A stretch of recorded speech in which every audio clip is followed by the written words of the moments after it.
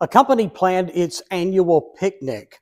This particular year, the company rented two boats. They had an idea. They invited their rival company to put together a row team. They put together a row team and they were going to have a race as part of the big annual picnic. The day arrived, it was gorgeous day. Uh, bands were playing, they had banners. Uh, the race started. And it could not have gone worse for the host company because the rivals began rowing and they took an early lead. They stretched out that lead and never looked back, and they embarrassed the host company. Won by a large margin. The, the managers of the host company, they were embarrassed, so they put together a team to study what went wrong and how do we not do this next year. The team spent three months studying this, and they came back, and this was their conclusion at that point. Uh, the rival team had been unfair because they had eight people rowing and one person shouting out instructions. Meanwhile, the host company had one person rowing and eight people shouting out instructions. They spent four more months coming up with game plan. This is what they came back with. Our guy has to row faster. Not quite what we would expect. I think we both understand that the humor behind this, but, but the real life point. When we start talking about teamwork, we need a team to work together to follow the leader. And one of the big problems we have in society today is that everybody wants to shout out instructions, but there are no hands to work. We're going tonight to one of my favorite Old Testament stories. It's the book of Nehemiah. And what we find in Nehemiah is we find this great book on leadership, but we also find this great story of teamwork. But trust me, it's much more than that. Because what we will see tonight is that Nehemiah was a great man of prayer. He was an organized leader. He planned and he prayed. He faced a lot of criticism as he brought together people of Jerusalem to rebuild the wall around this once great city. This was the people that they were really struggling. They were struggling to find hope in this particular time. As we follow through the story, we're going to find out these people worked as a team. They worked side by side. They worked hand in hand. They worked with all their heart. They had a mind to work. And I'm giving you phrases that, for the most part, are found throughout this story. Also, I look forward to sharing that with us. Um, great team with an outstanding leader. We follow Nehemiah from the moment that he first learned about the condition of the wall to the time when he went to the king and he asked for help. He went and he began the construction.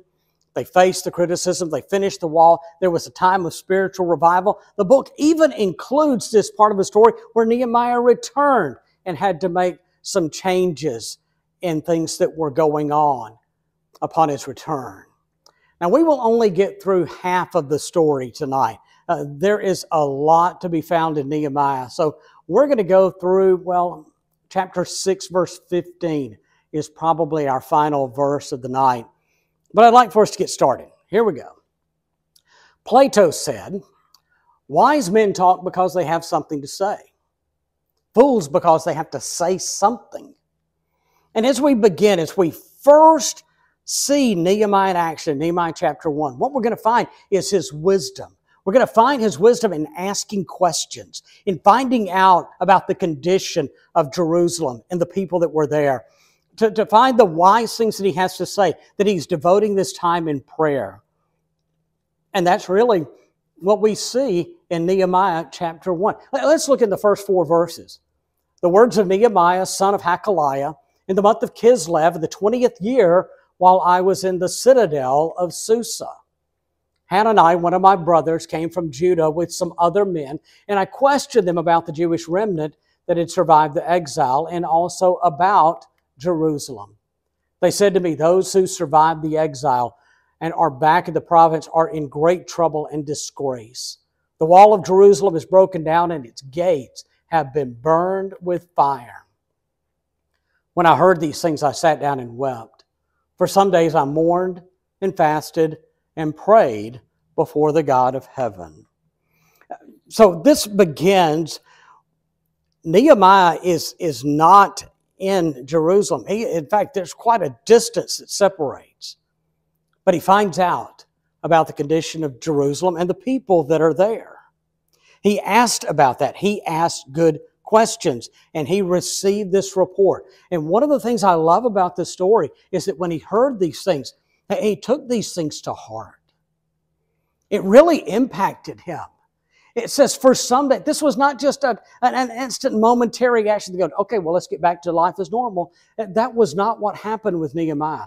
This was a life altering moment when he heard this news because it changed the trajectory of, of his leadership, of things that were close to his heart. Look at this. He mourned, he fasted, and he prayed what we have in uh, chapter 1, beginning in verse 5, is we have a, a prayer. And I'm going to call this a season of prayer. Because from all indications, this is indicative of prayer that were offered for four months before he went to the king to ask for help about rebuilding that wall. Nehemiah chapter 1, verse 5 Then I said, Lord, the God of heaven, the great and awesome God, who keeps his covenant of love with those who love him and keep his commandments. Now, Nehemiah is going to have a lot to say in that prayer. He speaks, though, the beginning of God's greatness. He's going to talk about the sin. He's going to confess the sin of the people. He's going to remind God of the promise that he had made to bring those people back to Jerusalem if there was repentance. He's also going to talk about that, that as, as I go about the Father, use me. I, I just love this. I, I love the, the contents of that prayer that we see in this season of prayer that went on for a number of months. Then there came a time that he had a conversation. He needed to have a conversation. That was one of the first big barriers in order for him to do anything was to have a conversation with the king. Nehemiah was cupbearer to the king, which doesn't sound necessarily like much, but it was a really important position. There was a lot of trust that was established between Nehemiah and King Artaxerxes. Nehemiah had never been sad in the king's presence before. That's probably a good thing because it was forbidden to be sad in the king's presence. If you were a servant of the king, as Nehemiah was, you just simply forgot about your problems when you went into the presence of the king. But then there's Nehemiah chapter 2, verse 1. In the month of Nisan, in the 20th year of King Artaxerxes, when wine was brought for him, I took the wine and gave it to the king. I had not been sad in his presence before. So the king asked me, Why does your face look so sad when you are not ill? This can be nothing but sadness of the heart. I was very much afraid, but I said to the king, May the king live forever. Why should my face not look sad when the city where my ancestors are buried lies in ruins and its gates have been destroyed by fire. So the king asked him, What do you want to do? Now, in chapter 1, we have this example of a season of prayer. In chapter 2, verse 4, it says that he, he prayed and then he gave the king an answer. So again, both are bathed in prayer, but it's two different kinds of prayer, if you will. Before Nehemiah spoke a word to the king, he needed to have that final prayer where he asked the Lord. Just know he's asking him to bless the words, bless him with courage, bless him with wisdom to be able to share these things to the king. The king granted Nehemiah's request to let him go and to help rebuild that wall in Jerusalem. When he asked Nehemiah, How long will you be gone? Nehemiah gave a, a thought out time frame of when he would return. But Nehemiah was prepared. He had been thinking and he'd been organizing this. And he told the king that he would need some things to, to help. And so he got the king to write some letters. There were also some materials that were given, and Nehemiah was ready to go. Uh, it is, it's said that it's like a 700 mile journey uh, from where Nehemiah was to Jerusalem. So Nehemiah sets out in uh, this journey. He wanted to take some time to, to look at the situation himself. I think this is really wise too.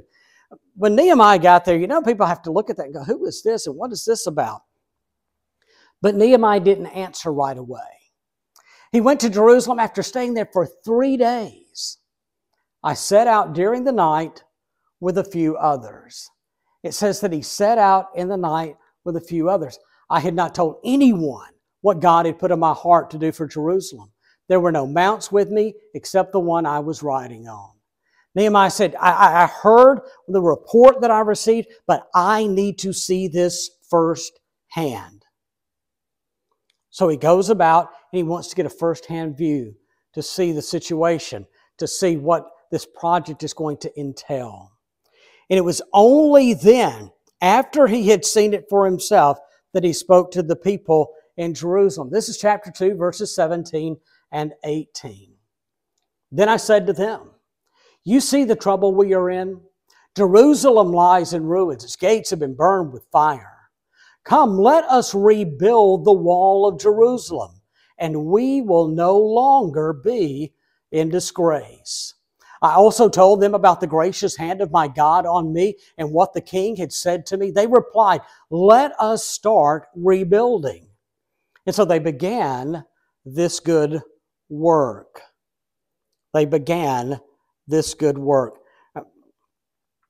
We haven't read the first two chapters word for word. Hopefully, in your Bible study, you have been able to do this. But I want you to, I want you to notice this. I want you to notice the pronouns that are used. This is a very important leadership trait. Nehemiah didn't talk about you and your problems. He did not distance himself from the people. He identified with the people. In fact, to give an example, back to chapter 1, verse 7, this is part of Nehemiah's prayer. He says, We have acted very wickedly toward you. We have not obeyed the commands, decrees, and laws that you gave your servant Moses. So Nehemiah identifies with the problem. He knows he is part of the problem. And he wants to be part of the solution. When he confessed sins, he confessed his sins along with the sins of people. Uh, leaders have to understand that. Uh, whether it's a preacher, whether it's a teacher, whether it's a leader in the church, we have to understand we are not without sin. And when we stand up to address the church, uh, whether we're leading in personal work or, or whatever the case may be, we need to be honest about who we are. And there are times that I stand before you, and it really troubles me that I'm sharing this because I know how much I struggle with the very things that I'm sharing with you. And I often, I try to do my very best to be upfront to confess that before you. I don't want you to think that I think I'm better than, no, I know we and I know our problems. And we need to be willing to be part of that.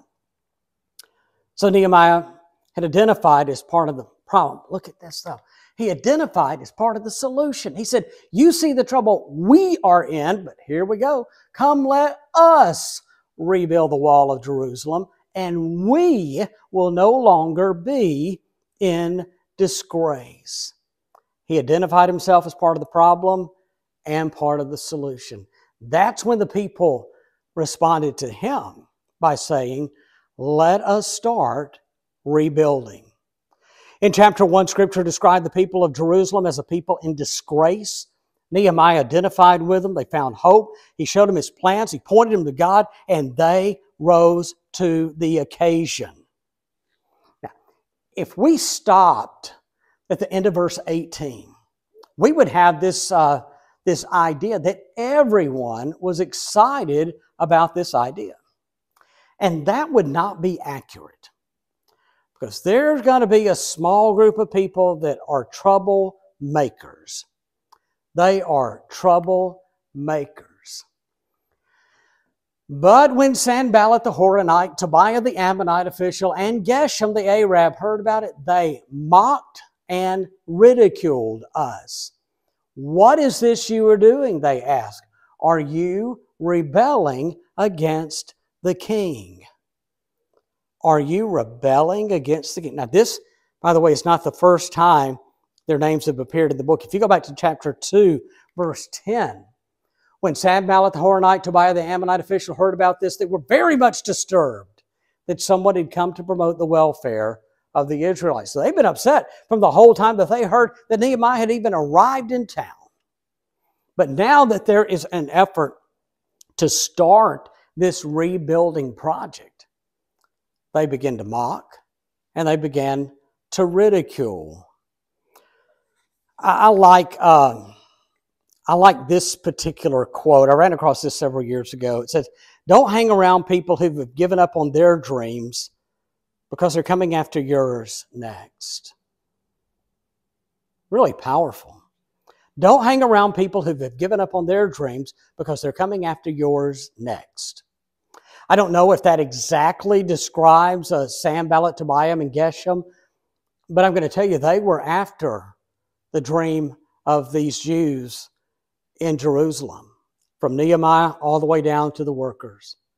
They're setting out to mock them, to ridicule them, to discourage them, and to intimidate them. They're going to do whatever it takes to be able to stop this effort. They question Nehemiah's plan. Man, why do you want to do this? Yeah, critics have a way of doing that. They can take somebody, this happens even today in church, that critics can take somebody that has a really good plan, but rather than to support and encourage that, they can just ask one question that is so deflating.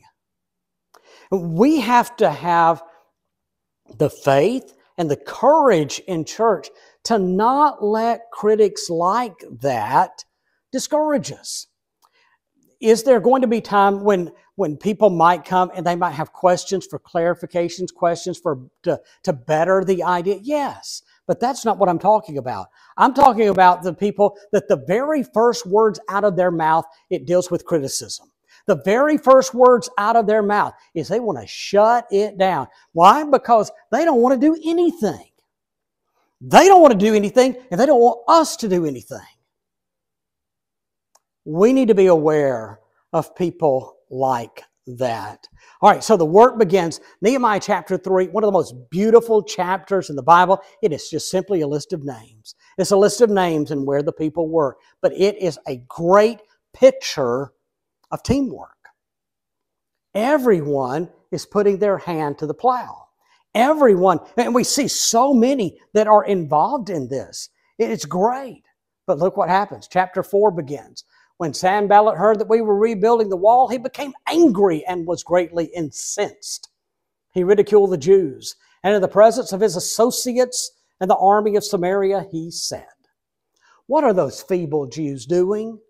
Will they restore their wall? Will they offer sacrifices?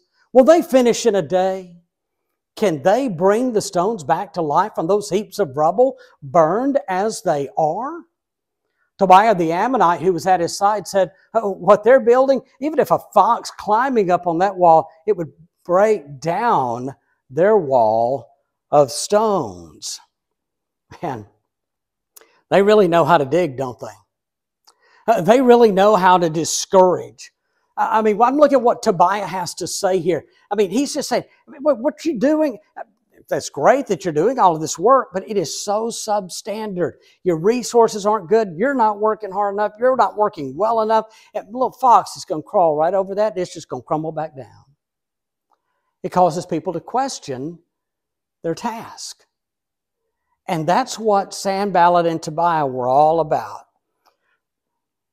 If they could change the way that the people saw those rocks, they could shut down the project if they could see the rocks of not being able to be able to put back together to rebuild that wall, if they could see the task is too great or the resources not good enough, they could shut down the project. But what Nehemiah did, he helped them see that that wall could be rebuilt. Nehemiah had in his mind this picture of a final project because that is, friends, the definition of vision. It's beginning with the end in mind. It's knowing that as he came together and as he talked to the Jews, he's not going to ask them to start something that they can't finish. He believes that with the blessing of God and, and, the help that he has received along the way and the number of people that are willing to come together and work, he sees this as a project that can be finished. That a people in disgrace are going to be a people to have a source of pride, of being able to come back together again and to be able to have this wall as this source of security. Sanballat and Tobiah didn't want to see any progress. They wanted to keep that pile of rubble and they wanted to keep seeing those people in disgrace. Nehemiah chapter 5 deals with some internal conflict, which, by the way, can shut down a project. And it's where Nehemiah really had to stop and bring some people together. There's pretty good evidence that in Nehemiah chapter 5 that the work may have even stopped so that Nehemiah could address this because there were some nobles that, that they were too good to work. You also had the fact that there were some that needed help, and so they're borrowing money and there's interest that's being charged, and it is just beginning to, to mushroom on them, and they, they, they don't know what to do. And so that personal problem is, is preventing progress with the wall. So Nehemiah comes together and, and he takes care of business. In chapter 6, Sanballat Tobiah are right there again. They attempted this time, they had, in chapter four, they had just uh, tried to discourage the whole work by just kind of making fun, mocking, ridiculing the whole project. Did the same thing in chapter two. What we see in chapter six is a personal threat against Nehemiah. And it starts with a rumor. It starts with a rumor about Nehemiah. It's in an effort to discredit his ability to lead.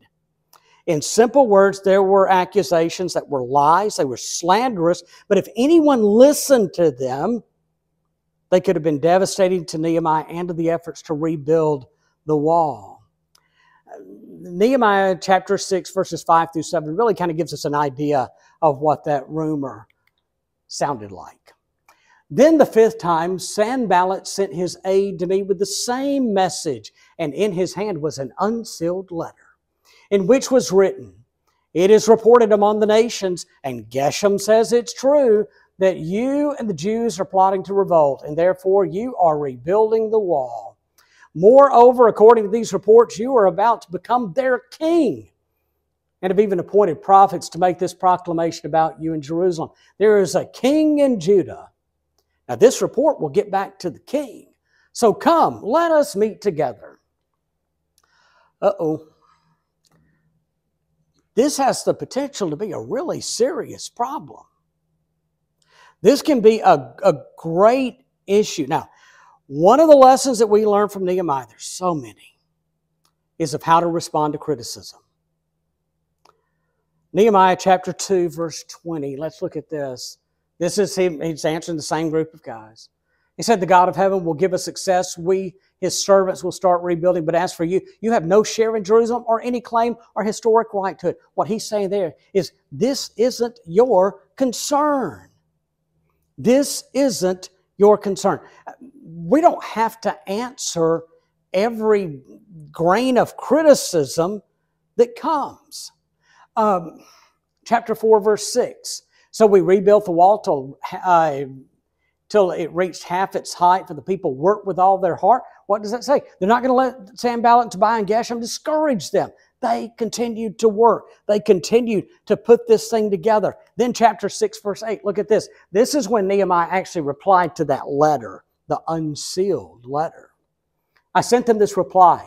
Nothing like what you were saying is happening. You're just making it up out of your head. You're just making it up out of your head. One translation puts it this way there is no truth to any part of the story. And that's it. Nehemiah didn't feel a need to defend himself. He just simply spoke up and said, What you're saying is not true. And then he moved on. Now, there's a point when they are, are feeling threatened that Nehemiah will get uh, the workers together and they work hand in hand. Um, you have one that's working, one that's guarding. And then they do that, uh, they, they swap responsibility. That's the kind of situation that we ran into. uh, as we read through this story. And so Nehemiah has a plan, and he made adjustments as necessary in that. But you can't read the story without getting to this part in chapter 6. So the wall, chapter 6, verse 15, the wall was completed on the 25th of Elul in 52 days. And when all our enemies heard about this, all the surrounding nations were afraid and lost their self confidence because they realized that this work had been done with the help of our God. Now, that's, that's just the first half of the story. And that's really all we have time for tonight. Because what we see after that is it's not just the completion of a wall, but we, have had these people come together. And, and, there has been discussion because Nehemiah has continually pointed to, to the blessing of God in this effort. So we see this time of great spiritual revival take place. And that is where Ezra again comes in and is a vital part of this story Of where the book of the law is read, it's explained, and the people respond to that. And there's a time of confession. It's just a wonderful time of worship and confession and study and, and dedication to the Lord. But I wanted us to look at this from the standpoint of, of Nehemiah coming and, and, the, the prayer that he had put into this, the heart that he had as a leader, the organization he's put into this, and his ability to bring together a team of people to work for this good cause. Uh, one more quote to share with you. Set goals, high goals for you and your organization. And when your organization has a goal to shoot for, you create teamwork, people working together for a common good. And I like that. Set high goals and then bring those people together and, and encourage them. Um, we want to challenge people to do something great.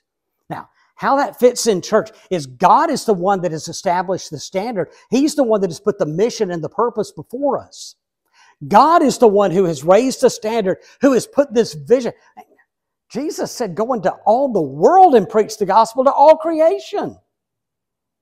He said, Go everywhere and teach everybody. That's the vision.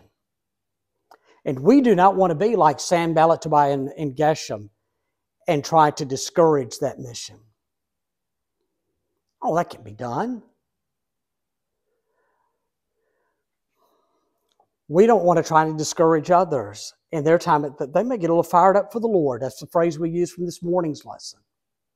They may get a little fired up for the Lord. And, and if that's the case, I hope that their fire is contagious and it causes others to get excited in wanting to carry out what the Lord has given us to do. You see, as, as a church, it's just about teamwork, but the Bible is going to use this picture, this analogy of us as the body of Christ with Christ as the head. And we work together for a common good, but that common good is to honor God, is to love God, to love our fellow man, and to, to, to serve our fellow man.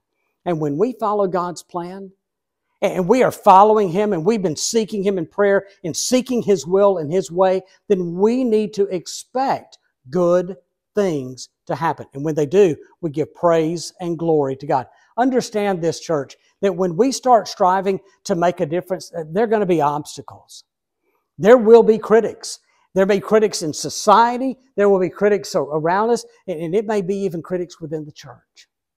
And we need to understand that. We need to be prepared for that because as the body of Christ, we want to do something great for it. We want to keep our eyes focused on the Lord and keep our eyes focused on the mission that He has put before us. I'm excited about some things that I'm seeing at Maul Road right now. God has blessed us with a number of visitors over the last few months. A number of them are, are or a number of you are placing membership with us. And may we give thanks to God for that. I hope that we as a church family can continue to come together as we strive to, to serve our community in recognizing some practical needs. I hope that we as a church family can recognize the fact that we're in a community where there are people that need to hear the gospel.